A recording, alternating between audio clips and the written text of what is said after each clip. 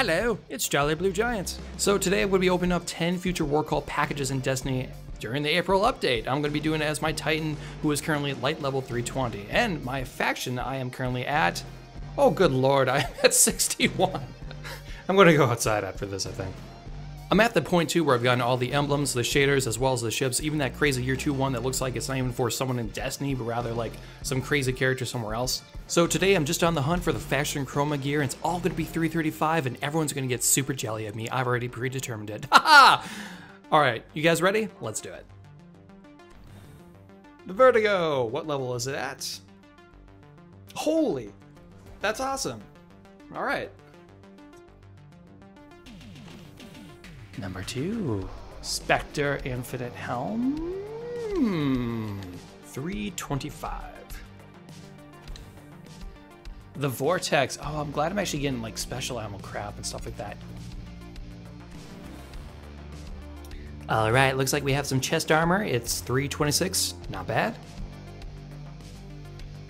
The villainy. Wow, I'm actually getting a lot of different things here.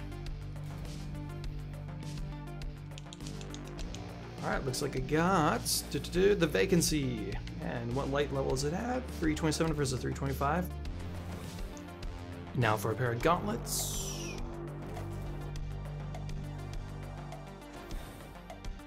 The vanity. What level is it at? 329, I'll take it. All right, looks like another pair of gauntlets and higher level. Okay, by one, 329 versus 328. Final one. All right, we got a pair of legs. 328, sweet. I'm happy that I almost got one of each thing, everything but a mark. The perks on the weapons though were kind of, eh, everything seemed pretty standard. It was very high light level though, so that was awesome. But I think the highlight is getting four pieces of the Spektar Infinite gear.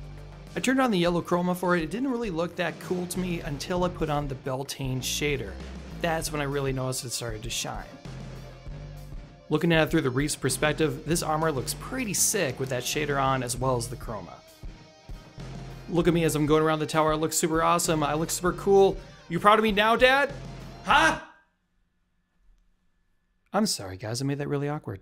Alright, I'm heading back to my Circus Clown jump ship and I'm going to be taking off for the evening. Everyone, thank you for watching and have a good night.